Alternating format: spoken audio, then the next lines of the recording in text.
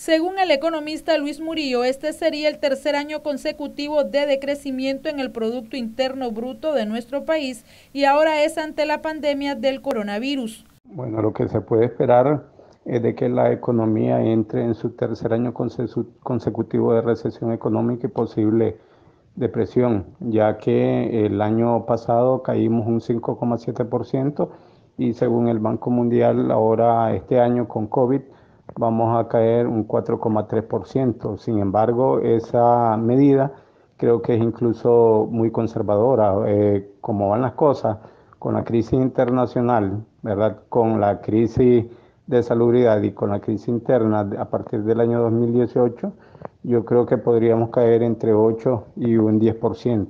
El economista Murillo también dijo que el nivel de producción se va a contraer en este segundo semestre del año 2020. Por otro lado, eh, yo lo que creo es que se espera que el nivel de producción se contraiga porque eh, a pesar de que no hay estadísticas de crédito o de niveles de producción y las que están están relativamente atrasadas o rezagadas, eh, sí se observa, digamos, una disminución de los créditos a la producción y sobre todo de la recuperación de cartera del sistema bancario y del, sector de microfinanciera, ante lo cual la perspectiva para el próximo año es números negativos y rojos, ¿verdad? Más que el año pasado y eh, tomando en cuenta de que no hay recursos frescos a nivel internacional, ¿verdad? Eh, incluso los 470 millones de dólares que, que hubieran estado a disposición por parte del FMI no se van a poder obtener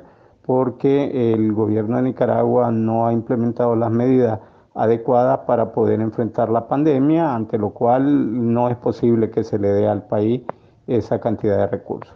Para Noticias 12, Castalia Zapata.